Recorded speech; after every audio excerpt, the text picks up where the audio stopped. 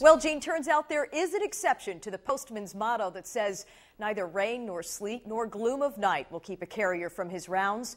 Roaming dogs are the exception. And while I met these dogs, and yes, they seem very sweet, when you see them, you may understand why this postman is saying, no way.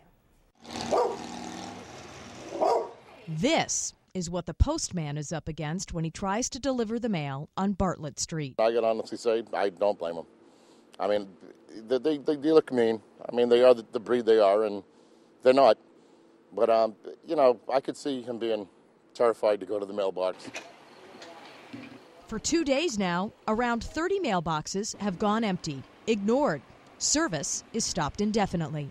I see both sides. I really do. I understand, you know, mailmen get bit. They wander the streets. There are people who have dogs that are nasty no matter what. Mm-hmm. Um, there's just got to be some middle ground somewhere. The so called problem dogs live here, but neighbors tell us houses on this entire block are without mail delivery, and some say that's extreme. The problem, and what I'm hearing, is the dogs are roaming. It's not like it's not limited to that address.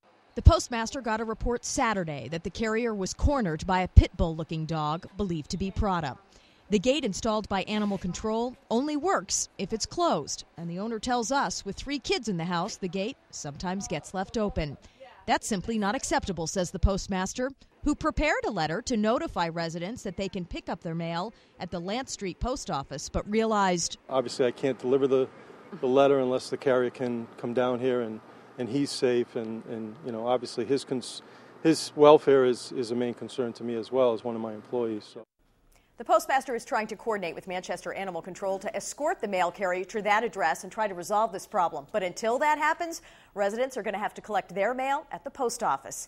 Incidentally, he tells us last year in this country, 3,000 postal carriers were bit by dogs while doing their job. Reporting live, Amy Coveno, WMUR News 9.